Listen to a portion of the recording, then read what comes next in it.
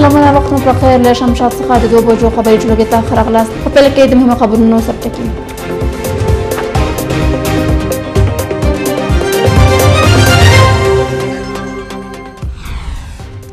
د ملګرو ملتونو امنیت شورا غړو ګډه اعلامیه نړیوال وايي اسلامي امارت تیرې تیرې ورځې د برید عملین ونیسي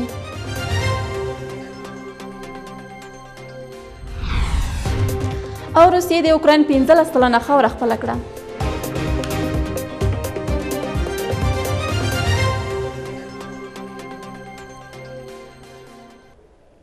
بشپړ خبرونه ته ښه راغلاست زه صنم وزیري یم د کابل په لویدیځ کې لاریونونو په تاوتریخوالي اوښتي د کابل په لویدیځ کې پر کاچ ښوونیز مرکز د تیرې ورځې برید له امله لاریون کړی وو یو شمېر ښځو چې د عدالت غوښتونکي شعرونه یې ورکول دشت برچې کې واټونو ته راوتلې وې دغه لاریونونه وروسته د سرتیرو له لوري په هوایي ډزو په تاوتریخوالي اوښتي او د دغو لاریون کوونکو مخه نیول شوې ده د ملګرو ملتونو امنیت شورا غړو په ګډه اعلامیه کې د تیرې ورځې برید غندلی دی د امنیت شورا ټولو غړو هیوادونو په دغه ګډه اعلامیه کې په کاج مرکز د برید کوونکو او طرح کوونکو د نیولو غوښتنه کړې د دغې شورا غړو ټینګار کړی چې د تیرې ورځې د برید عاملین ونیسي او د عدالت منګولو ته یې وسپاري تر دې وړاندې یو شمېر نورو نړیوالو بنسټونو هم له اسلامي امارته غوښتي وو چې د برید د عاملینو نیولو مسولیت دې په سمه توګه ترسره کړي د خوړو او درملو ادارې تازه اوه بابه درملتونونه تړلي دي د خوړو درملو ملي اداره وایي د څارنې په پایله کې یې اوه بابه درملتونونه مهرلک کړي دي دغه اداره وایي یا درملتونونه یې په اتلسمه او ناحیه کې د اوولس درملتونونو د څارنې په پایله کې تړلي دي چارواکو شپږ درملتونونه د فارمسیسټ د نه درلودلو او یو بل د غیر قانوني کړنو له امله مهرلک کړی دی. په دوی کې داسې درملتونونه هم شامل دي چې تاریخ تېري درمل یې پلورل. د کابل د تیرې ورځ د برید عاملین دې ونیول شي افغانستان کې د ملګرو ملتونو استازولۍ یا یونما وایي د تیرې ورځې د خونړۍ برید عاملین دې عدالت ته راوکږل شي. یوناما په یوه ټویټ کې ویلي، اسلامي امارت باید خپلې ټولې هغه ژمنې عملي کړي چې د افغانانو د خوندیتوب په برخه کې یې کړې دي. یوناما وايي، پوهنې برخه دې د افغانستان د شخړو او جګړو ځای نه ګرځي. د دغه برید مسؤلیت تر دې دمه کومې ځانګړې ډلې پر غاړه نه دی اخیستی. د خوړو نړیوال پروګرام له 21 میلیونه افغانانو سره مرسته کړې د خوړو نړیوال پروګرام یا ډبلیو اف پی وایي سکالي په هر 15 افغانانو کې دوه تونو سره مرسته کړې ده ډبلیو اف پی پر خپل ټویټر پاڼه لیکلي چې په 2022م کال کې میلیونونو افغانانو ته مرستې رسولې دي دا پروګرام وایي د دوی بنسټ پر افغانانو د وچکالۍ اغېز تر ډېره راکم کړی دی خو اندېښنه یې ښودلې چې را روان ژمی به ډېر سخت وي او ټولو افغانانو سره باید مرسته وشي امریکا حکومت د افغانانو لپاره د دایمي ویزې ورکړې بهیر چټکوي امریکا هغو افغانانو ته ویزې او اسناد ورکوي چې له تیرو څو کلونو راهیسې له دوی سره کار کړی او اوس په امریکا کې دي دغه افغان کډوال ویزې ته انتظار دی او تازه ورته اعلان شوی چې د ویزې د ورکړې بهیر به یې چټک شي هغه چارواکي چې د ویزې په برخه کې کار کوي وایي د ویزې د ورکړې پروسه شاوخوا نولس میاشتې ده او هغوی چې په دغه موده کې اسناد نه وي بشپړ شوي، بې برخلیکه پاتې کېږي. تېره اونۍ په امریکا کې ځینو افغان کډوالو د خپلو اسنادو د ترلاسه کولو لپاره لاریون هم کړی و. د کابل د تیرې ورځې په برید کې ایمرجنسي روغتون ته دوه ویشت تنه وروړل شوي دي. کابل کې د ایمرجنسي روغتون پر خپله ټویټر پاڼه لیکلي، پر کاچ کورس د تیرې ورځې د برید له امله دوی ته دوه ویشت تنه وروړل شوي چې ټولې یې نجونې وې. ایمرجنسي روغتون په یوه ټویټ کې ویلي، د دغو قربانیانو عمرونه له اتلس تر پنځه ویشت کلونو پورې وو. اخوا د دغه ښوونیز مرکز مسؤل مختار مدبر پر خپله فېسبوک پاڼه لیکلي، سهار مهال یې کورس ته ځانمرګی برید کوونکی ورغلی و چې د دروازې ساتونکو یې په ډزو وژلی او بیا یې له چاودېدونکو توکو ډک واسکټ ته چاودنه ورکړې وه. مدبر لیکلي چې د برید ټول قربانیان یې نجونې دي چې شمېر یې تر لسګونو رسېږي. د ملګرو ملتونو سرمنشي انتونیو ګوتریش هم د تیرې ورځې برید وغنده. د ملګرو ملتونو د سرمنشي ویندوی له لوري په خپره شوې اعلامیه کې د دشت برچي د تیرې ورځې برید غندل شوی او دا یو ناوړه عمل بلل شوی دی. په دې اعلامیه کې د قربانیانو له کورنیو سره خواخوږي ښودل شوې او ټپیانو ته د بیړنۍ روغتیا هیله شوې ده. اعلامیه زیاته کړې چې زده کړې بنسټیز حق دی او سولې او پرمختګ ته یوازینۍ غځیدلې لار ده. د افغانستان لپاره د امریکا ځانګړي استازي هم د تیرې ورځې د برید غندنه کړې توماس ویسټ پر خپل ټویټر پاڼه لیکلي پر هزاره زده کوونکو نجونو برید دوی زړه مات کړي دي ویسټ په دغه ټویټ کې ویلي د بې ګناه زده کوونکو په نخښه کولو لپاره هیڅ توجیه نشته هغه ویلي د زړه له تله د پیښې له قربانیانو او د دوی له کورنیو سره خواخوږي او همدردي څرګندوي افغانستان کې د طالبانو دولتي سیستم ناسم او بې ثباته دی د روسیې د ملي امنیت شورا رئیس نیکولای پاتروشیف ویلي د طالبانو حکومت د ټولو قومي او سیاسي ځواکونو په ګډون نه دی جوړ شوی پاتروشیف ادعا کړې چې د اسلامي امارت مشران لا د واک او عوایدو پر سر له یو بل سره سیالي کوي هغه پر سیمه ییزو هیوادونو غږ وکړ چې د ترهګرۍ پر وړاندې شته ګواښونو ته یو ګډ دریځ باید ونیسي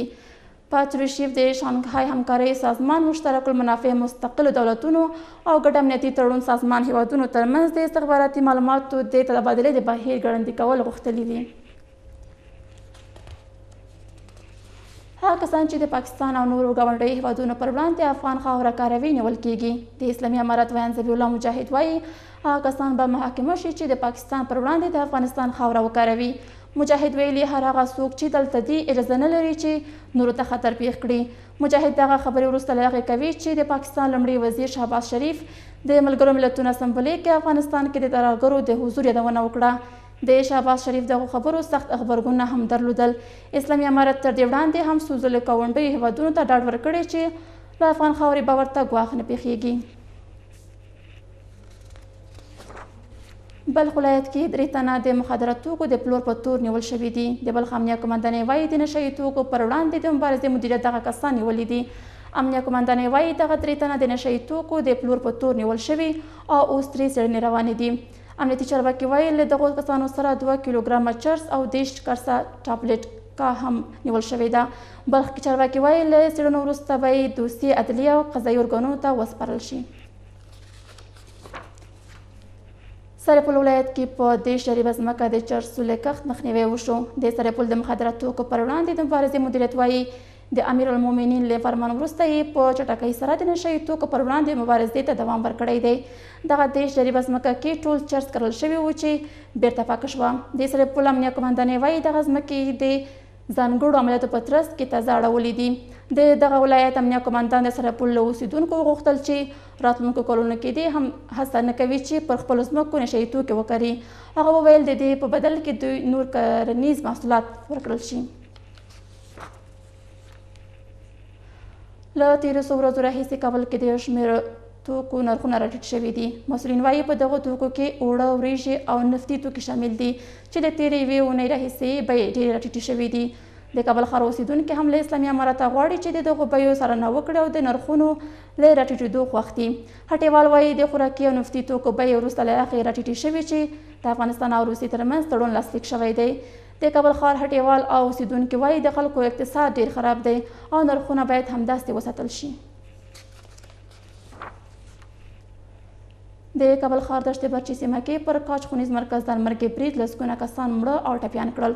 یا تعلیمي مرکز کې د چاودنې پر مهال شاوخوا څلور سوه زده کوونکي موجود وو چې برید پرې وشو. کورنۍ چارو وزارت وایي پیښه کې نولس تنه وژل شوي او اووه ویشت نور ټپیان دي خو عیني کتونکي د قربانیانو شمیر زیات ښيي. تر اوسه د دغه خونړي برید مسوولیت کومې وسله والې ډلې ته نه دی منلی، خو کورنیو چارو وزارت وايي، ډېر ژر به یې عاملین ونیسي.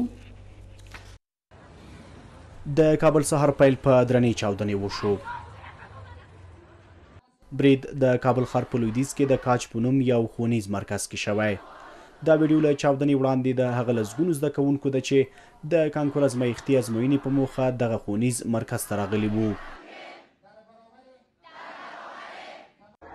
خو له څو شېبو وروسته د همدغو زده کوونکو راوړي قلمونه د هغوی پر خپلو وینو سره شول عیني شاهدان وایي بریدګر لومړی د یاد ښوونیز مرکز ساتونکي ووژل او وروسته د ازموینې ښځینه ټولګي ته ننوتل او چاودنه رامنځته شوه داخل خود صنف آمده نگهبانانش زده باز داخل صنف آمده بالاخره انفجار داده وقت انفجار فیر شد به او اصنا همه خانما دختر خانما گفت که بچه همه آرام باشین هیچ گپی نیست اما گفتیم یک بار انفجار شد بین خواهرها و بین خواهرای من که بعد از اون متوجه شدیم که چت فرو ریخت و همه ما فرار کردیم د برید قربانیانو زیات شمېر ښځینه زده کوونکي دي چې د پیښې له ځایه جسدونه او ټپیان جناح وطن روغتون ته وړل شوي دي. د پیښې قربانیانو کورنۍ د خپلو بچیانو د شتون او نه شتون تاییدولو لپاره په ویره د هغه لیستونو انتظار کاوه چې د جناح روغتون لومړۍ دروازه کې ځړول کیږي. دغه مورکۍ په چاودنه کې د ورک شوي لمسي په درد ژړا کوي.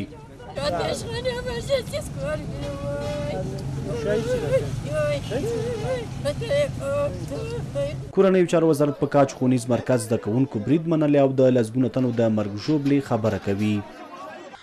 په برید کې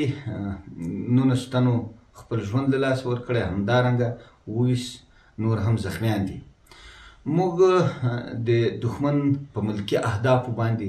برید چې د دوی قساوت او وحشت ثابتوي، په کلکو ټکو غندو. اخوا د برید په قربانیانو کورنۍ ادعا کوي چې د اسلامي امارت ځواکونو له لوري ورسره د روغتونونو مخې ته بد چلند هم شوی دی. کابل ښار کې د درنو چاودنو او پکې د اوښتو زیاتو تلفاتو شمېر لومړی ځل نه دی. تېره جمعه هم د وزیر محمد اکبر خان جومات کې د شوې چاودنې له امله لسګونه لمونځ کوونکي ووژل شول. د روسي ولسمشر ولادیمیر پوتین ویلي دي چې افغانستان کې ترهګري موجوده ده نوموړي په یوه غونډه کې ویلي چې ترهګر اوس هم په افغانستان کې فعال دي دا چې ترهګر پر اختیار هم په افغانستان کې شته او کنه ځکه اسلامي امارت په څو څو ځله ویلي چې په افغانستان کې ترهګري موجوده نه ده د موضوع د بحث لپاره د اسکایپ له لارې یحیی چاوش د امنیتي کارپونک سره په بحث کې ګډون کړی دی چاوش صاحب په خیر راغلاست بحث ته سلام له شما تشکر. علیکم سلام چاوش صاحب که په پیل کې راته ووایاست چې د روسیې دغه اندېښنه تاسو څه ډول ارزوئ په رښتیا هم په افغانستان کې ترهګري موجوده ده او که نه؟ خب خدمت شما چی ارز کنم دیده میشه چیزی که عیان است چی حاجت به بیان است آیا انفجاری که صورت گرفت در مرکز تعلیمی کاج مثل از همچون انفجارهای دیگه که صدها نوباوه وطن ما طفلا جوانا را به خاک و خون میکشانه همه علائم و نشانه ها و ثبوت بر موجودیت تروریسم در افغانستان نیست آیا قویتر از چی باشه انقدر انفجارات انتحارات اعمال تروریستی که در طول مدتها در افغانستان صورت گرفته و اینا همه مسئول کش در ایالات متحده امریکا هست ایر کسی منکر شده نمیتانه. له بلې خوا د روسیې ولسمشر ویلي و چې دغه ترهګرې ډلې کولی شي نورو مشترک المنافع هېوادونو ته هم ضرر ورسوي په دې کې کوم هېوادونو د روسیې هدف دی کوم هېوادونه د افغانستان څخه ویره لري تر څو ترهګري هلته ورنه غځېږي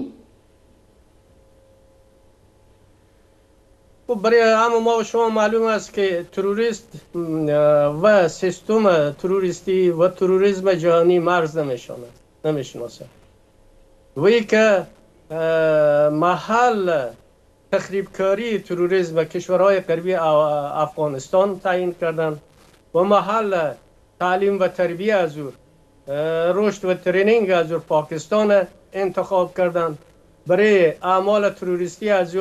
سالانه از 40 43 سال به این طرف است که میلیاردها دلار ایالات متحده آمریکا در ایران مصرف میکنه به خاطر اهداف سیاسی نظامی و منطقوی خود به خاطر از اینکه سیاست های جاندار و منطقه ایالات متحده امریکا جهان به ترسانه به تشویش بیاندازه ترس و رب بین ملت ها ایجاد کنه هیچ کشور احساس آرامش نداشته باشه کشورهای جهان نتونه استقلال و تمامیت ارزی خود به شکل درست تمثیل کنند انمی موجودیت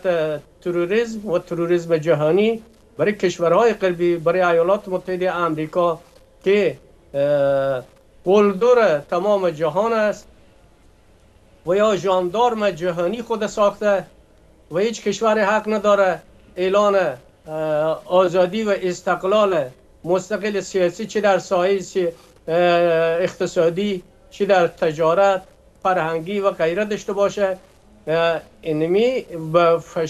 وسیله فشار و وسیله که اینا استفاده میکنند و فعلا اسلام را برای از بحانه ساختن ای گروپهای تروریستی یا یکی از یا به معنی اسلام نمیفهمند هیچ کدام از یا مسلمان نیستند که چنین اعمالی را علیه مسلمین انجام میدهند علیه فرزندهای اسلام انجام میدهند. د اسلامي امارت ځینې چارواکو هم په تېره څو ځلې ویلي دي چې افغانستان کې هېڅ ترهګري موجوده نه ده او دوی دغه ترهګر چې دي ځپلي دي نو څنګه کېدلی شي چې اوس په ځینې نور هېوادونه اندېښنه ولري د ترهګرۍ څخه په افغانستان کې خب اشتباه بزرگ از یا است اگر اینا واقعا لانه های تروریسم برای زمانی که در کنفرانس های بین المللی دعوت میشن به اشتراک بگذارن با دگاه اگر واقعا اینا حمایت از یا نمیکنن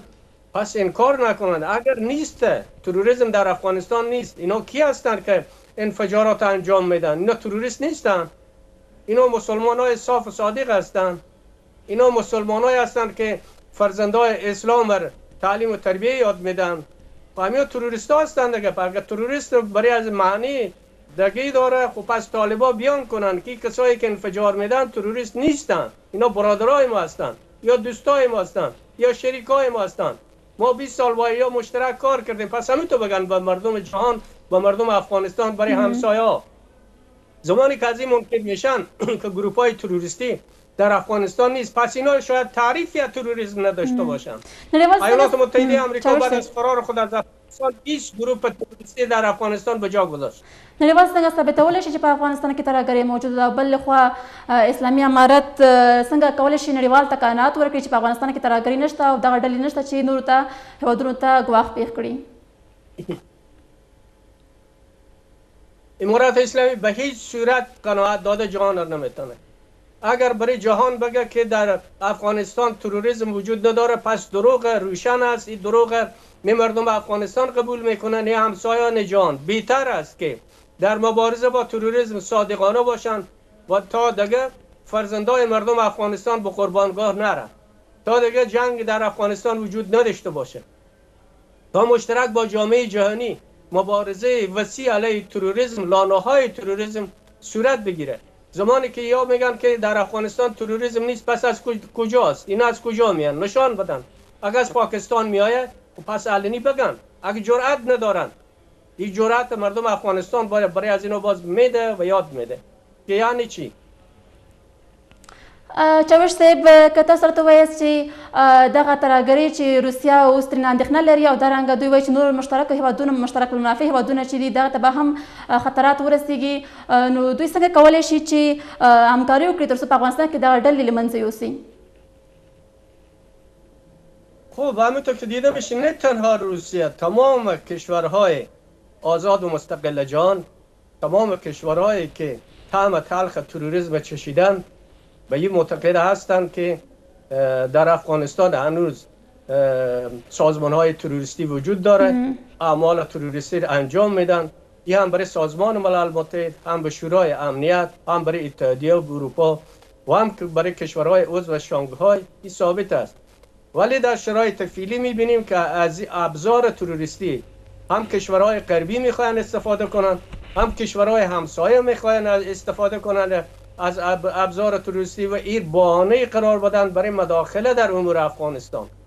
ام. امارت اسلامی افغانستان نباید اجازه بده نباید زمینه ها مساعد بسازه نباید این وسیله رو به دست خارجی ها بده تا دو مرتبه افغانستان یک مرتبه دو مرتبه میدان تاخت و تازه کشورهای قاردگر قرار بگیره مورد تاخت تاز کشورهای متجاوز قرار بگیره باید واضح روشن شفاف تمام مسائلی که وجود داره در افغانستان شریک بسازه با جامعه جهانی تا تشویش رفشه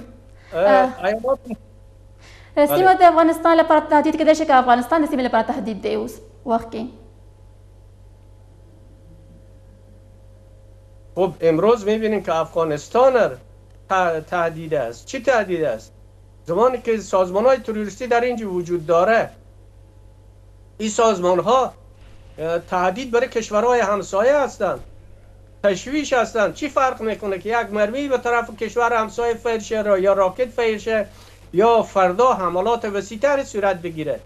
ای سازمان های تروریستی آرام نمیشینند ای سازمان های تروریستی سازمان دیی میکنند گروپ های خود تشکیلات خود فعالیت های خود تخریب کاری های خود چندی پیش این می سازمان های سازمان های تروریستی افراطی بود که در قزاقستان میخواستند میخواستند دولت سرنگون کنند این میست کشورهای سیاه من تشویش دارن که مبادا صبح در ازبکستان در تاجیکستان در قرقزستانی کار بشه در ترکمنستانی کار بشه و این ممکن است و همچنین سازمان های تروریستی تهدیدی برای چین هست نه تنها برای که روسیه صدای خود بالا کرده هر کشوری که در قبال امنیت جهان امنیت منطقه و امنیت مردم خود مسئولیت و رسالت داره باید صدای خود بلند کنه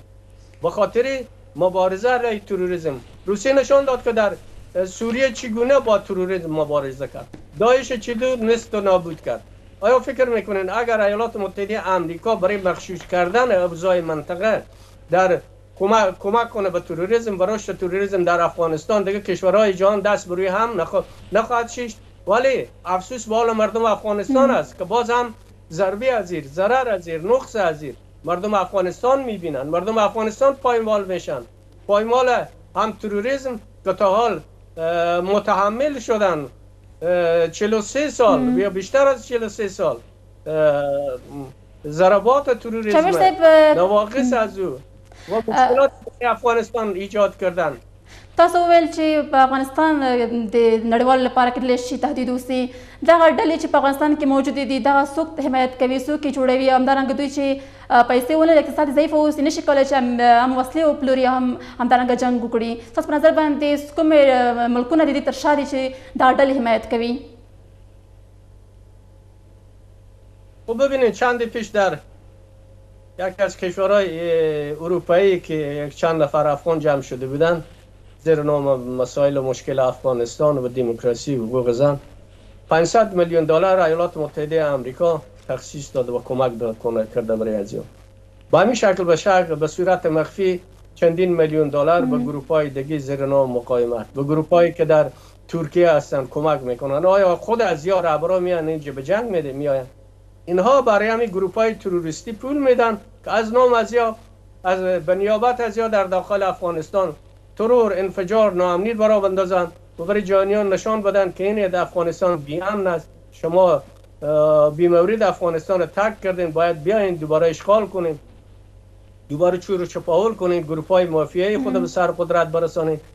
اینمی زمینار چی مساعد میسازد؟ شرایط ناامن مساعد میسازد؟ ناراضی بودن مردم مساعد میسازد؟ اینا همه دست به دست هم میده کمک میکنه به رشد و موجودیت تروریسم در افغانستان. چاویش صاحب که راته وایست په اخره کې چې اسلامي امارت ته څه پکار دي ترڅو دغه ستونزې له منځه یوسي همدارنګه د نړیوال دغه بهانه چې دوی په هر ځل وایي چې افغانستان کې ترهګري موجوده ده دغه له منځه یوسي دوی څه کړي تر تیر یو کال کې اسلامي امارت امارت اسلامی در دوحه ابرای ایالات متحده آمریکا قرارداد مبارزه با تروریسم را امضا کرده در اون قرارداد از آماده توافق نامه مبارزه مشترک علیه تروریسم یک تخصیص برای فعالیت های تروریستی سرکوبی فعالیت های تروریستی اینا در شرایط فعلی این مسئله را هم چشم پوشی میکنن امارات اسلامی باید از جهان و از کشورهایی که صدای خود بلند میکنه و تشویش داره از گروپ های تروریستی در داخل افغانستان باید صادقانه با اینا بشینه مذاکره و مشوره داشته باشه که اینمی گروپ که شما میگین بیان که مشترک یار نابود کنه و اینا لاف میزنن که ما از عده از این کار برآمده میتانیم اگر از عده از این کار برآمده میتانین چگونه امنیت مکاتب گرفته چگونه نمیتانین چگونه امنیت شهروندای افغانستان گرفته نمیتانین شما چگونه دولت دوری میکنین که نتانین گروپای های تروریستی رو تصفیه کنین اگر مشکل دارین ضعف است ضعف عیب نیست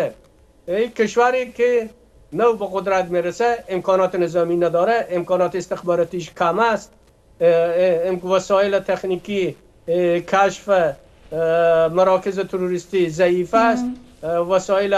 ببخشیم نیروی هوایی ضعیف است باید کمک خواسته شه از کشورهای قدرتمندی که در جوار افغانستان است مانند هندوستان چین روسیه کشورهای آسیای میانه که بارها برای از یا کنفرانس ها دایر کردن زمینه رو به ساختن یا مطرح ساختن به جان میشنید اگه اینا کشورهای دوست برای خود فکر میکنن با دوستای خود مطرح کنن با دوستای خود شریک بسازند شریک بسازند که در امور امنیت افغانستان کمک های تکنیکی داشته باشند کمک های نظامی داشته باشند حتمی نیست که سرباز از او بیای در اینجی ولی جاهایی که یا نمیتونن ضربه بزنن از نگاه زمینی باید کمک بخواین کوردینه مشترک داشته باشند که گروپ تروریستی باید لانه های از جا نابود شود و این راه بهترین راه معقول است هم برای امارت اسلامی و هم برای قناعت دادن کشورهای همسایه کشورهای عضو شانگهای، کشورهای اسیای میانه، روسیه و چین و دیگر کشورهایی که میخواهند با تروریسم مبارزه کنند. ډیره زیاته مننه چاوش صاحب چې بس پر سره ګډون وکړ. شکر شو. امنیتي کارپو یحیی چاوش چې موږ سره بحث وکړ اوس هم دمه تر دمه وروسته د خبرونو دوام.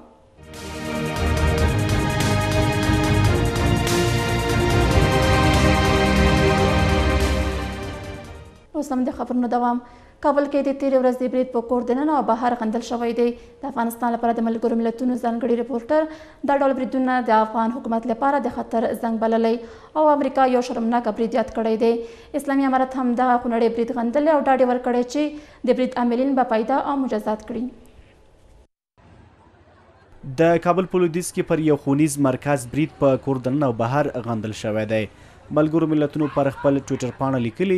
د ملګرو ملتونو ټوله کورنۍ د دغه ډول برید غندنه په کلکو ټکو کوي افغانستان کې د بد امنیتي وضعیت پر دوام کابل کې نن بیا چاودنه وشوه په هزاره میشته سیمو کې په دغه برید کې ګڼ شمېر ملکیانو ته مرګ ژوبله اوښتې ده د ملګرو ملتونو کورنۍ د دغه برید غندنه کوي او د ژورې خواشینۍ مراتب وړاندې کوي د افغانستان لپاره د امریکا شارزدفیری پر ښوونیز مرکز او په زده کړو د بوختو زده کوونکو نښه کول ډیر شرمناک عمل وباله. امریکا د کاش د لوړو زده کړو پر تعلیمي مرکز د نن ورځې برید په کلکه غندي. له زده کوونکو ډک ټولګی په نښه کول چې په ازموینو بوخت وي یو شرمناک عمل دی. ټول زده کوونکي باید په ارامه فضا کې له ویرې پرته خپلو زده کړو ته دوام ورکړي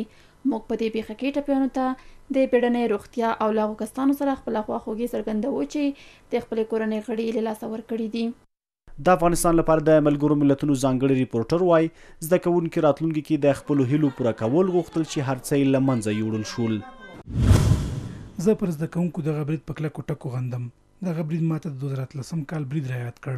چې په همدغه سیمه کې شوی و. دغه زده کوونکي کاج ښوونیز مرکز ته د دې لپاره راغلي وو چې خپل روښانه راتلونکي رسېدلو لپاره هلې ځلې وکړي. دا برید د خطر زنګ دی چې د نړیوالو جرمونو د مخنیوي مسوولیت د افغانستان راتلونکي ته ورګرځي. کابل کې د ایران او پاکستان سفارتونو هم د دغه برید غندنه کړې او د پیښې له قربانیانو سره یې خپله خواخوږي څرګنده کړې. د افغانستان پخواني ولسمشر حامد کرزي د دغه برید سخته غندنه کړې او دا ډول برید یې له ټولو انساني او اسلامي اصولو او ارزښتونو خلاف بللی. دغه برید په شدید ډول غندم. دا ډول عمل د ټولو انساني او اسلامي اصولو د ارزښتونو خلاف دي. د بشر ضد دا جنایت د هېواد له پرمختګ سره د دښمن د ښکاره دسیسې ښکارندويي کوي. او دا بریدونه د دې ثبوت دی چې دښمن زموږ ځوانانو له روښانه راتلونکي ډاریږي. د تیر حکومت د مصالحې عالي شورا مشر ډاکټر عبدالله دا ډول برید د سولې او پرمختګ د دښمنانو عمل بولي. زه د کابل په دشت برچي سیمه کې پر کاش ښوونیز مرکز ترهګریز برید په کلکو ټکو غندم. زه د برید له قربانیانو او د هغوی له کورنیو سره خپله خواخوږي او خواشیني څرګندوم. دا کار یوازې د هغوی دی چې د سولې او پرمختګ مخه نیول غواړي.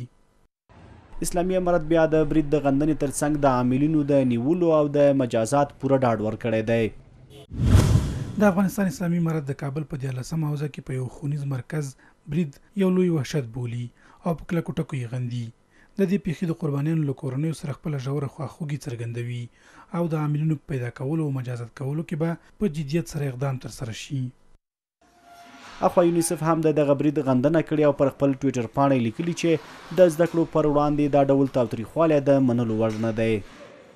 دا لومړی ځل نه دی چې په کابل کې د شیعه مذهبو مرکزونه او غونډې په نښه کېږي.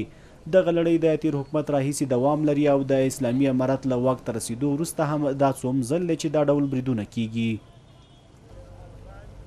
ایران افغانستان کې له ترهګریز ګواښونو اندېښنه ښودلې ملګرو ملتونو کې د ایران استازولۍ ویلي طالبان دې پر خپلو ژمنو عمل وکړي او د ډیپلوماټیکو استازولیو د امنیت خوندیتوب سربېره دې بیا ترهګرو ته ځای نه ورکوي د ایران د دایمي استازولۍ مرستیالې د افغانستان پر بشري او اقتصادي وضعیت هم اندېښنه ښودلې او د کنګل شوې پانګې د ازادېدو غوښتنه یې کړې ده د پاکستان له لومړي وزیر او ملګرو ملتونو کې د افغانستان د تیر حکومت له دایمي استازي وروسته ملګرو ملتونو کې د ایران دایمي استازولۍ هم افغانستان کې د ترهګریزو ګواښونو په اړه اندېښنه ښودلې ده ملګرو ملتونو کې د ایران د دایمي استازي مرستیال امنیت شورا کې د خبرو پر مهال ویلي د طالبانو مسولیت دی چې دا ډاډ ورکړي چې افغانستان به د ترهګرو پر پټنځای نه بدلیږي د افغانستان حکومت باید د ترهګرۍ پر ضد مبارزې ته ژمن پاتې شي او د دې ډاډ ورکړي چې افغانستان کې میش سفارتونه او کونسلګرۍ او د هغوی پرسونل له بریدونو خوندي پاتې کېږي. افغانستان باید یو ځل بیا د داعش او القاعده ډلو په څېر د ترهګرو په پټنځای بدل نه شي. زهرا ارشادي د اسلامي امارت د اوسني حکومت پر چوکاټ نیوکې کړي او ویلي دي چې یوازې ټولشموله حکومت کولی شي د ټولو افغانانو حقونه تامین کړي. د افغانستان حکومت دې د نړیوالې ټولنې د یوه غړي په توګه خپل فرض ادا کړي او یو ټولشموله حکومت تشکیل کړي چې د افغان ټولنې د ټولو قشرونو استازولي وکولی شي. یوازې د ټولو خلکو په استازیتوب حکومت کولی شي د خلکو حقونه تامین کړي. دغه ایراني ډیپلوماټ ټینګار کړی چې پر افغانستان لګېدلي بندیزونه دې یوازې پر اشخاصو او حکومتي چارواکو تر بریده وي او پر عامه افغانانو باید اغېز ونه کړي. هغه ویلي، د افغانستان کنګل شوې پانګه دې نه سیاسي کېږي او له شرط پرته دې ازاده شي. د افغانستان کنګل شوې پانګه باید سیاسي نه شي او له کوم شرط پرته ازاده شي. بشري مرستې په اوس کې د افغانستان لپاره اړینې دي، خو دا د ستونزې دایمي حل نه دی او اړتیا ده چې د دوامداره اقتصادي ودې لپاره کار وشي. افغانستان کې د ترهګرو پر حضورو پر وړاندې د مبارزې بحث داسې وخت د سیمې هېوادونو له لوري راپورته کېږي چې اسلامي امارت تل ویلي د دوحې هوکړې ته ژمن دي او چاته به اجازه ورنکړي چې د افغانستان له خاورې نورو هېوادونو ته ګواښ پېښ کړي. د بشري ناورین حل لپاره د بنسټیز کارونه پیل شي د ملګرو ملتونو د بشري مرستو د همغږۍ اداره یا اوچا وایي پنځه ویشت میلیونه افغانان له بد اقتصادي وضعیت کړېږي او تر نیمه یې زیات یې بیا ان لومړنیو خوراکي توکو ته هم لاسرسی نه لري تحلیل دا دی چې د اسلامي امارت او نړیوالې مرستندویې ادارې دې په کور دننه د بنسټیزو پروژو په تطبیق کې د ناورین مخه ونیسي په افغانستان کې ورځ تر بلې د بې کارۍ، فقر او خراب اقتصادي وضعیت کچه په لوړېدو ده. تازه د ملګرو ملتونو د بشري مرستو د همغږۍ ادارې یا اوچا ویلي، پنځه ویشت میلیونه افغانان په بېوزلۍ کې ژوند کوي چې څلور ویشت میلیونه یې د خوړو نه خوندیتوب سره مخ دي.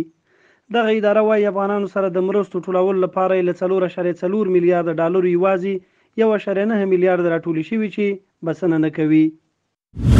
افغانستان کې څلور ویشت میلیونه وګړي د ژوندي پاتې کېدو لپاره بشري مرستو ته اړ دي. پنځه ویشت میلیون وګړي بې وزلۍ کې ژوند کوي او نولس میلیونه وګړي د خوړو له نهخوندیتوب سره مخ دي. د دغه ادارې په خبره که ژر بېړنۍ مرسته ترسره نه شي، حالات ورځ تر بلې د خرابېدو خوا ته روان دي. د کارپوهانو په خبره، که اسلامي امارات او نړیوال مرستندویه بنسټونه د بنسټیزو پروژو او کارونو په پیل غور ونه کړي، دا او نورې مرسته حل لاره نه شي کېدلی. دغه پیسې په هغه ځایو کې لګولي وای چې خلکو ته کار پیدا کړی وای او د دغه فقر مخنیوی سوی وای نو په دې حالت کې چې اوس روان دی زه فکر نه کوم چې دغه پیسې نور پیسې هم که راسي چاره وسی په دې چې دا ټول پیسې ما مخکې وویل چې په په معاشاتو په نور شانو باندې مصرفيږي او اصل خلکو ته شي نه رسیږي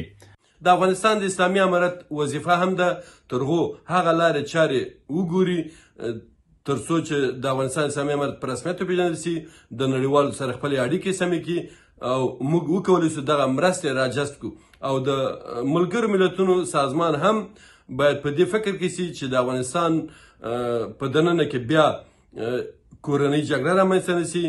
د فقر او بدبختی چې دلته ډیر اوج ته رسیدلی ده یو بشري ناورین رامنځته نسی او تروریستي ډلې دلته را پیدا نسی د افغانستان د خراب اقتصادي حالت له کبله سلګونه زره کسانو وروسته له هغه هېواد پرېښی چې د اسلامي امارت حکومت واک ته رسېدلی. د ډېرو نیوکه همدا ده چې اسلامي امارات نه دی توانېدلی چې خلکو ته کاري فرصتونه برابر کړي. نورستان کې د بهرام په نوم د تېر حکومت د یوه محلي قوماندان وژل کېدو سخت غبرګونونه راپارولي دي. د نورستان په منډول او دوابه ولسوالیو کې په دې تړاو خلکو اعتراضونه پیل کړي دي. اسلامي امارات منلې چې د تېر حکومت یو قوماندان د دوی په بند کې وژل شوی، کورنیو چارو وزارت وايي، دې پېښې د پلټنې په موخه یې لوړ پوړی پلاوی ټاکلی او له مرکز سره به خپلې پلټنې شریکوي. بهرام الدین د تېر حکومت یو ځايي قومندان و، چې اوس ادعا کېږي طالبانو لومړی شکنجه کړی او بیا یې وژلی دی. د قومندان بهرام پر بدن دغه نښې پر هغه د سختو شکنجو روایت کوي.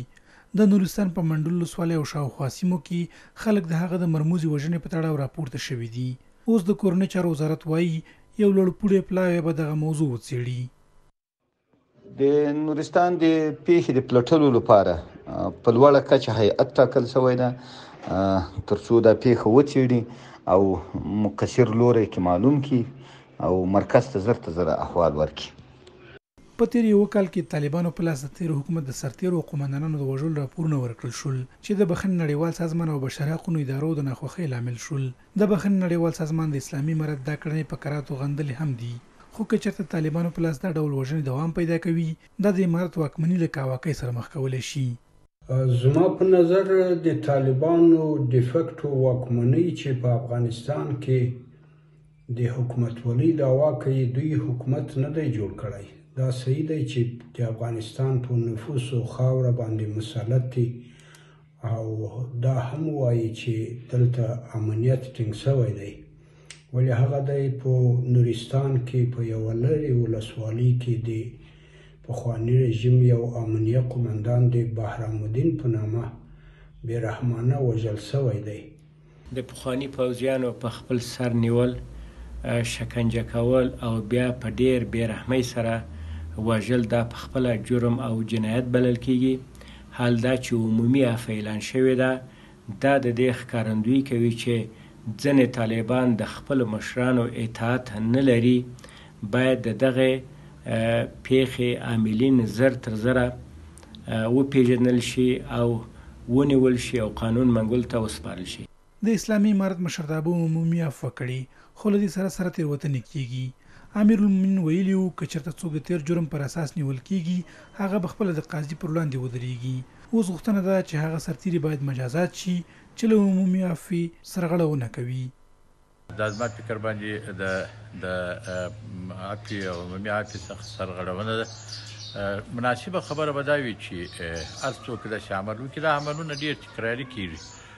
نو ښه خبره به دا وي چې هر څوک د عملونه وکړي هغه ته سزا ورکول شي بند ورکول شي حبس ورکول شي دا چې مراتب پرې شول کیږي چې دا د پلانکی انډیوال دی دا د پلانکی انډیوال دی دا زما فکر باندې د امارت لپاره ډیر لوی تاوان دی پر اسلامي مرد د نړیوالو نیوکه همدا ده چې بشر حقونو ته درناوی نه لري. اوس به ولیدل شي چې مرکزي حکومت د قومندان بهرام الدین کورنۍ ته څه ډول عدالت ورکوي. د عمر ماین پاکۍ موسسې د ننګرهار مومندرې ولسوالۍ په غوړکي او تورخم سیمو کې د ماینونو او ناچاوده توکو د پاکولو چارې پیل کړې دي. د امر ماین پاکۍ موسسې او د شمشاد راډیو ټلویزیون بنسټګر فضل کریم فضل دغه سیمو ته ورغلی او هلته د ماین پاکۍ چارو نه لیدنه کړې ده. فضل کریم فضل سپارښتنې وکړې چې سیمه باید په نښه په ښه توګه د ماینونو او ناچاودو توکو له خطرونو پاکه شي، تر څو سیمه کې د ابادۍ او ارام ژوند زمینه برابره شي.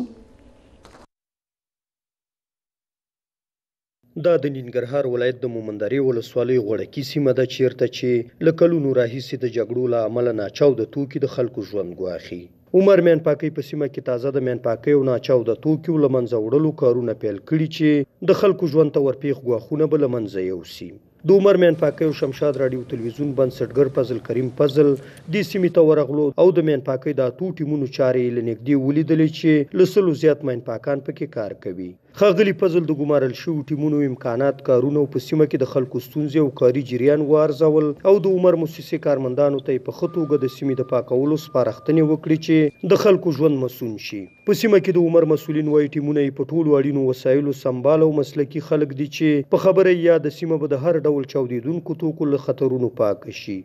دلته تقریبا د مونږ کومه ډیمینران چې موجود دي چې هغه باندې مونږ عملا ساعت کې کار کوو اتیا نفره دي هغې سره د هر ټیم کې درې درې نفره کمانډ سټاف چې سیکشن لیډران ټیم لیډران دا دي وسره موږ د تفتیش لپاره هم دوه نفر موظف سوي هغه په دې باندې ګرځو او د سره اپریشن مسول هم موجود ده چې دا ساعت باندې دي تر څو پورې کارونه چې کوم کارونه دي د عمر د اس او پی او سټانډرډونو مطابق دا کارونه پر مخ ویسي د مسولینو په خبره دا کاري سیمه ټوله غرهییزه سیمه ده چې شاوخوا اوه کیلومتره کېږي او د یو کال په موده کې به په بشپړ ډول له هر ډول چاودېدونکو توکو پاک او د خلکو د ژوند کولو او استفادې وړ به شي. سیمه تقریبا د تورخم د سپردو پوستې نه شروع ده تر غوړکی سیمه پورې مسلسل دا ساحه پرته ده او تقریبا 9 کیلومتره طول لري او عرض تر 500 متره پورې عرض لري او دغه ټیمونه به ان شاء الله تر یو کال ډیوریشن دلته په دې ساحه کې ولري تر یو کال پورې به ان شاء الله دا ساحه ټوله د مینونو او ناچاو توکو ساحه پاکي او د محل خلک به ان شاء الله دغه مصیبت نه په امن کې پاتې شي او خلک به په ښه مسؤل ډول باندې ساحه نه به استفاده کولای شي د یادې سیمې خلک د عمر کاري پرسونل په ورتګ خوښ دي، ځکه له دغه سیمې یې په سم ډول ګټه نه شوه پورته کولی او په ډاډه زړه به یې آن تګ راتګ هم نه شو کولی چې د ناچاوده توکو د چاودنې خطرونه وو. خو د عمر مسؤلین ډاډ ورکوي چې یاده سیمه به په بشپړ ډول پاکه او د هر ډول استفادې او ژوند کولو جوګه کړي. کومه ساحه چې موږ پکې عملا کار کړی موږ هره ساحه ولیش په ولیش او مسلسل یو مخې نه منظم ډول باندې پاکو عام خلک اوس هم د موږ راتګ ته ډیر خوشاله او ډیر رضایت خپل خو ده او پیلان چې کدا ساحه پاکه ان شاء الله د دوی په موجودیت به موږ د ساحه دوی ته تسلیمو عمر ميان پاکۍ د مومند درې تر څنګه د ننګرهار شپږو نورو ولسواليو کې هم هغو سيمو ته خپل ټيمونه لېږلي او چارې به پيل کړي چې د جګړې له امله ناچاوده توکي او ماينونه پکې د خلکو ژوند ګواښ سره مخ کړی او د ابادۍ او پرمختګ مخه يې نيولې. سحرګل احساس، شمشاد نيوز، ننګرهار، مومندره. بلخ کې د جلدي ناروغۍ زیاتېدو خلک اندېښمن کړي دي د ابو علي سینا بلخي حفظوي روغتون د جلدي ناروغۍ څانګې ډاکټران وایي په یوه کال کې ورته شاوخوا شپږ زره ناروغانو مراجعه کړې ده د دوی په خبره له دغه شمېر درې زره شپږ سوه یې د لا ښې درملنې لپاره یاد روغتون کې بستر شوي دي دا د مزار شریف ښار په ابو علي سینای بلخي روغتون کې د پوستکي ښکلا او ناروغیو څانګه ده.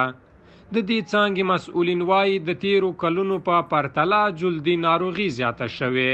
او دغه ناروغي له یو ډول ماشي منځ ته راځي چې یو بل ته هم لیږدول کیږي.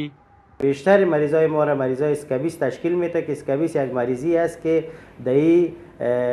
یک سببش یک مایت است یا یک حشره است که این مریضا زیادتر خارش های شبانه می داشته باشند و مریض مجبور می سازه که شب بیدار باشه و این یک مریضی ساری است که از یک شخص به شخص دیگه انتقال میکنه توسط لباس توسط حتی توسط دست دادن انتقال میکنه دلته یو شمېر روغتیاپالان وايي، زیات شمېر ناروغان ورته له لرې پرتو سیمو او ولسوالیو راوړل کېږي، چې هلته د جلدي ناروغۍ په هکله له عامه پوهاوي لرې پاتې دي. خود سرانه دواهایی را اونا مصرف نکنند به ویژه دواهایی که در بدنشان زرق میشه یا از طریق خوراکی گرفته میشه اینا را محتاطانه عمل کنند. همداراز روغتون کې یو شمېر ناروغان د ډاکټرانو له درملنې خوښي څرګندوي او د لا ښې درملنې غوښتنه کوي. بسیار خوب هستم دیگه بازم در دیگر مثلا از طریق دوا و چیزایشان خوب است میتن یه ذره زیادتر شوه خوب است دیگه ډاکتران هر ساعت راځي پښتنه کوي دوا راګان را کوي کم قلم دوا چې دلته پیدا نه سي هغه لته باندې راوړم د بلخ ابوعلي سينايي بلخي روغتون جلدي څانګې مسؤلين وايي، په دې برخه کې شل تنه ډاکټران په کار بوخت دي او آن د پوستکي سرطان عمليات دلته ترسره کيږي. روح الله روحاني، شمشاد نيوز، مزارشريف ښار. هلمند کې صنعتکاران له دولته غواړي چې د کورني تولید ودې لپاره د پانګوالو ملاتړ وکړي دوی وایي په سختو شرایطو کې پانګونه کړې سلګونه کسان ورسره په کار بوخت دي او که ملاتړ یې وشي تولید زیاتوي ورته مهال د پانګونې او سوداګرۍ خونې مسؤلین پانګوالو ته د اسانتیاوو برابرولو خبره کوي او وایي هڅه کوي کورني تولیدات بهر صادر کړي هلمند کې یو صنعتي پارک چې د رغونې چارې یې دېرش سلنه بشپړې شوي، دا مهال پکې شل تولیدي او صنعتي فابریکې جوړې شوې دي. په دوولس سوه جریبه ځمکه دغه جوړ شوی پارک د یو سل او پنځوس تولیدي فابریکو ظرفیت لري چې دا مهال پکې د اوسپنې ویلې کولو، د غوړو او مالوچو پروسس برخه کې فابریکې جوړې شوې دي. شپېلنې یې شل پاپریکې موږ خو غواړو چې د شش کال په جریان کې پکښې پاله کړو. دا به د اوسپنې په برخه کې وي او د پنبو، د غوړو، د پیپو، پلستیکانو یعنې دغه خام مواد به ټول دلې پروسیزیږي او بیا بیا استوي. په دغه صنعتي پارک کې شاوخوا زر تنه کاریګر په مستقیم او غیر مستقیم ډول په کار بوخت دي او له همدې ځایه د کورنۍ اړتیاوې پوره کوي. مخته معلم وم په د انجنیری پونځې فارغ یم خو بیا د بیکاری د عمله اوس دلته په کار اخته سوی یم زه ډیر خوشاله یم ځکه د الله د الله له روزي د عیال لپاره پیدا کوم زه تقریبا د دوه کاله کیږي دلته کار کوم مخکې زه بیکاره وم خپل په ځان پورې حیران وم اوس د دوه کاله کیږي چې دغه پاپریکور والا سره زه کار کوم نو په د دوه کاله کې زما د پاره ډیر څه زمينه ته مساعده سوی د زه خپل د عیال د پاره یو ګوله ډوډۍ دلته پیدا کوم یو شمېر پانګوال چې دغه صنعتي پارک ېې یې پانګونه کړې له دولت غواړي چې د کورني تولید ودې او خلکو ته د کاري فرصتونو برابرولو لپاره د صنعتکارانو ملاتړ وکړي. فابریکې پروسس پخته، کنجارت، روغن، صابون، کم کرید، بما بشه از اول از دولت کام کاری کنه خود ما بگه که دولت با سرمایه گذاری خود ما هم کاری کنه که این مردم پینجا نفر پینجا خونوار اینجا کار میکنه داخل فبریکه دا فبریکه چې ما جوړه کړې ده تقریبا د دوه لکه اویا زره څخه تر نوي زره دوه لکه نوي زره ډالر پرې لګښت مو کړی مصرف مو کړی دی او تقریبا نور کاریګر چې راسره یي د دېرش څخه تر شپېته کسه پورې په زمرڅه په څلرویشت ساعته کې کار کوي. ورته مهال د هلمند د سوداګرۍ خونې مسؤلین د خصوصي صنعتي پارکونو کارونه تر دولتي چوکاټ چټک بولي او پانګوالو ته ډاډ ورکوي چې د سرمایه ګذارۍ لپاره یې اسانتیاوې برابرې کړي. ده په تند زموږ تشي ولايت چي دئ زراعتي ولايت دئ دا کوم خلک چي يا فابريکې موجودي لري او يا يې په موټرو کي دي يا يې راوړي يا خريداري کړي دي دا کولای سي چي په دغه خصوصي پارک کي خپل پانګونه وکړي او هم ځان ته پیدا ورسیږي هم د امارت بودجه ته مالیات تحویل کړي او هم دغه زموږ کوم زراعتي مواد چې دي دا د دې پروسس کړي او نور دنیا ته یې واستوي. د سوداګرۍ او پانګونې خونې مسؤلین وايي، هڅه کوي کورني تولیداتو د ګاونډ او سیمې تر مارکیټونو ورسوي او د صادراتو برخه کې ورته اسانتیاوې برابرې کړي. کندوز کې د غصب شویو دولتي او شخصي ځمکو د راګرځولو لړۍ روانه ده د کرنې او مالدارۍ رئیس وایي تر دې دمه حال یو سل او اویا زره جریبه دولتي ځمکه د زورواکو له منګولو ژغورلې ده مسولین هغه اوازې هم ردوي چې ګواکې د کندوز او تاجکستان ترمنځ شته ځنګل د خلکو له لوري وهل کېږي او د له منځه تلو په حال کې دی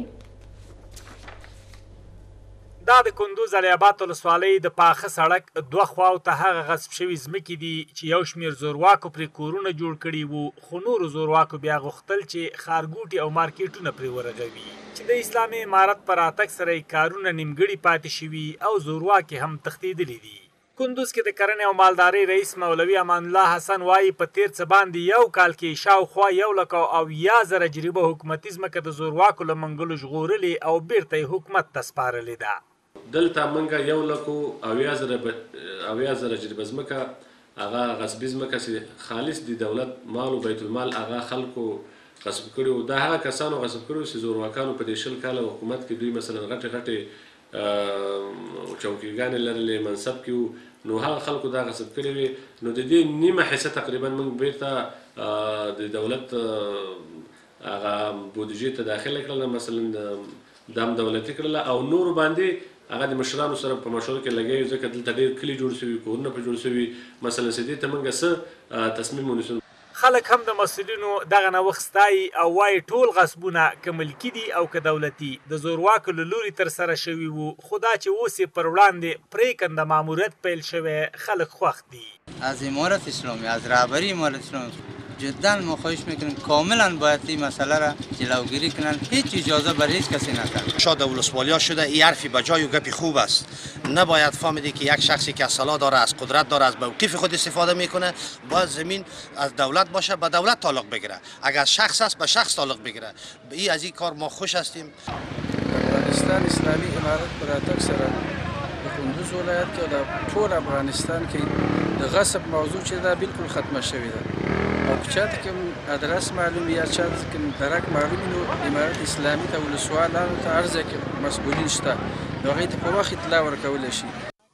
د غس پر اخوا ګنګوسي دا دي چې د کندوز او تاجکستان ترمنځ په امام صاحب ولسوالۍ کې شته ځنګلونه په بې رحمۍ وهل کېږي او د لمنځه وړو په حال کې دي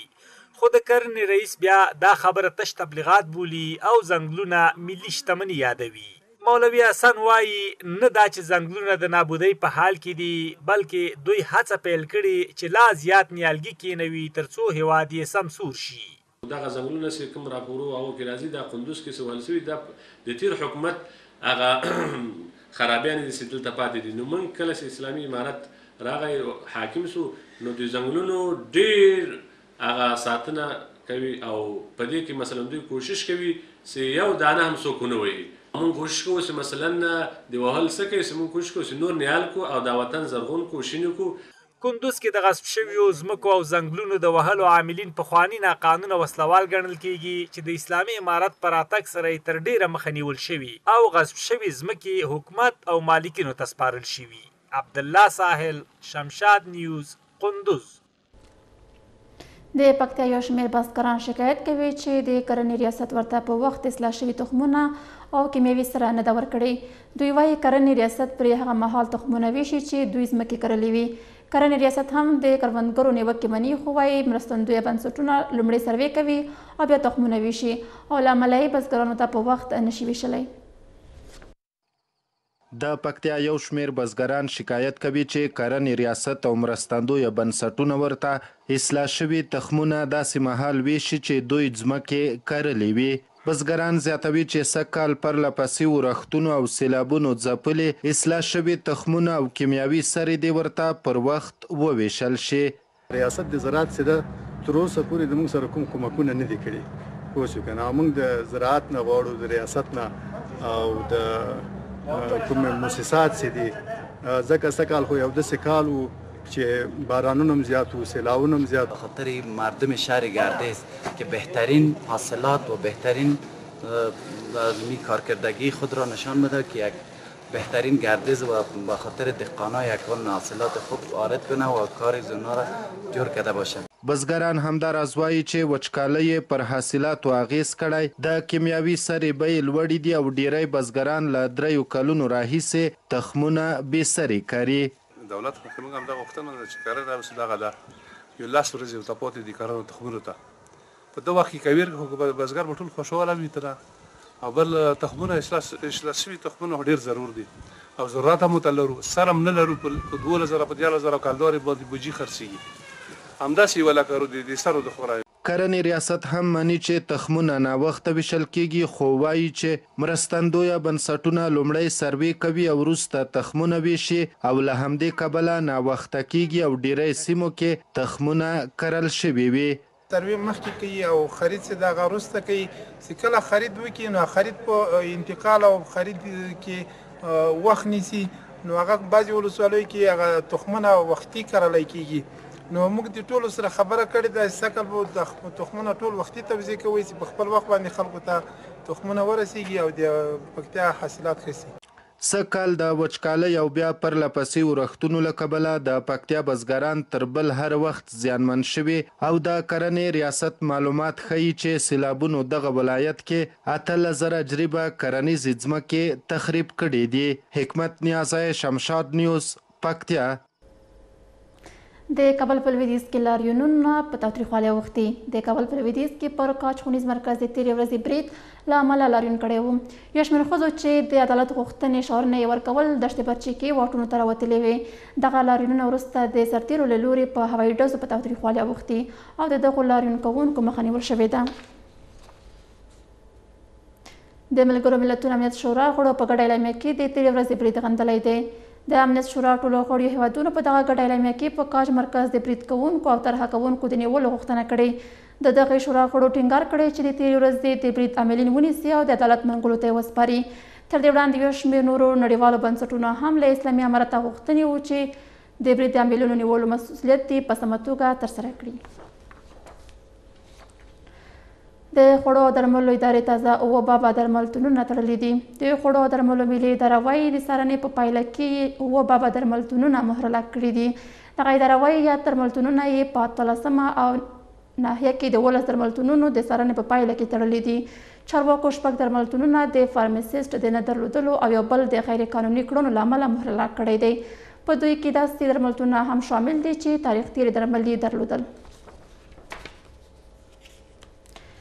د کابل د تیرې ورځ د برید عاملین دي ونیول شي افغانستان کې د ملګرو ملتونو استازولۍ یا یونما وایي د تیرې ورځې د یو خونړي برید عاملین د عدالت ته راوکاږل شي یوناما په یوه ټویټ کې ویلي اسلامي امارت باید خپلې ټولې هغه ژمنې عملي کړي چې